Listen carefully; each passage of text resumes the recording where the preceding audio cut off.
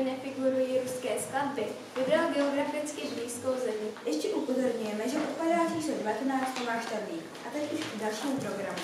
Přejeme vám hezký hudební podvečer.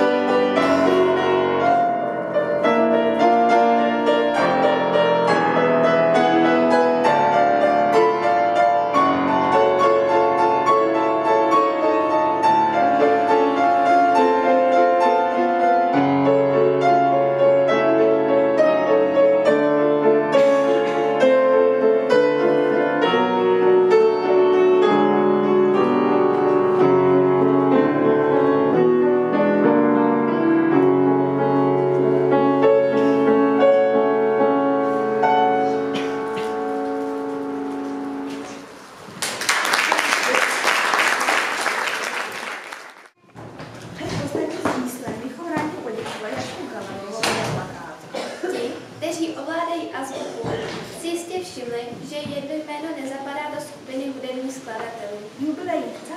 setkání proběhne přelom října a listopadu. Na tento koncert připravujeme skladby z pohádek a filmů a pokusíme se opět do hudby zakomponovat projekce z uvedených snímků.